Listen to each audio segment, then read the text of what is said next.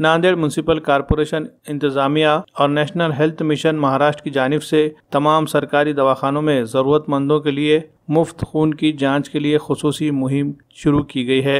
इस मुहिम के तहत नांदेड़ म्यूनसिपल कॉरपोरेशन, इंतजामिया के तहत चलने वाले सभी हेल्थ सेंटरों में सिर्फ़ दस रुपये रजिस्ट्रेशन फ़ीस के ज़रिए खून के नमूनों की जाँच कराई जा सकती है, जिसमें platelet, sugar, thyroid routine urine test, serum, calcium serum sodium, serum urea, serum HDL, serum twelve protein समेत 30 से जायद तरह के खून के नमूनों की जाँच की जाएगी। इस खसूसी मुहिम का ज़्यादा से ज़्यादा लोगों ने फ़ायदा उठाना चाहिए। इस तरह की अपील मेयर मोहिनी विजय यवन करने की है। इस मुहिम का अहतमाम इस वजह से भी किया जा रहा है कि मौजूदा कोरोना के हालात में लोग अपनी अपनी सेहत को लेकर फिक्रमंद हो गए हैं। गरीबी की वजह से बहुत से लोग अपनी सेहत का अच्छे से ख्याल नहीं रख पाते। इन्हें मुख्तलिफ़ बीमारियाँ होती है, लेकिन खून के नमूने जांचते नहीं, इसलिए इन्हें इसका पता नहीं चलता और जिस वक्त इन्हें पता चलता है, उस वक्त बीमारी हाथ से बाहर निकल चुकी होती है। इसीलिए लोगों की मदद की गर्ज से ये खसूसी मुहिम शुरू की गई है, जिसमें लोगों की सहूलत के लिए सभी सरकारी अस्पतालों में खून के नमूनों की मुफ़्त जाँच की जाएगी।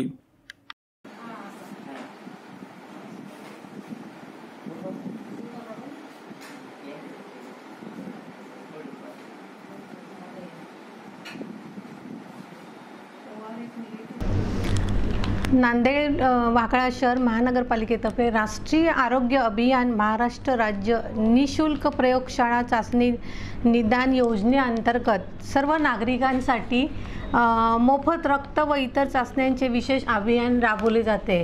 यामध्ये जवळजवळ वीस चाचण्यांच्या रक्ताच्या चाचण्या घेण्यात येणार आहेत आणि त्या निशुल्क तीस रक्ताच्या चाचण्या घेण्यात येत आहेत आणि त्या निशुल्क आहे.